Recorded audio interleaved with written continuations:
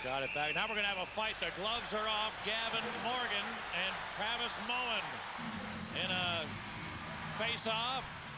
They come together. Neither man able to land one yet.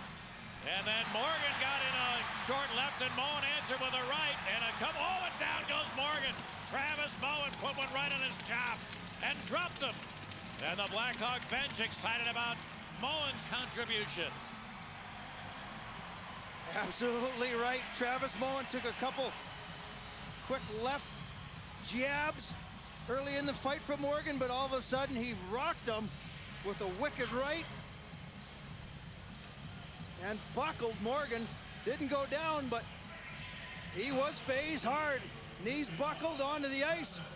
Got back up, but good job by Travis Moen. Brian Sutter